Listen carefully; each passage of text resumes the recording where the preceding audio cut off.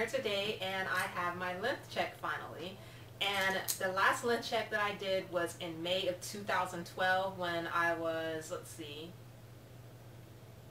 four months natural. And now I have finally made it to a year natural and I'm ready to do another length check. So the first time I did the length check, I was using a ruler and I was thinking that maybe using a measuring tape will be easier this time. Um, so that's what I'm going to be using. And in the video, I have co-washed my hair and it's still wet because it's easier for me to pull the hair down when it's newly washed with no product in it.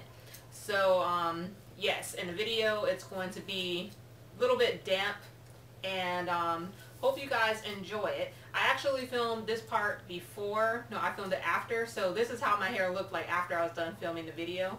And um, so anyway, hope you guys enjoy it. And this will be my one year natural length check.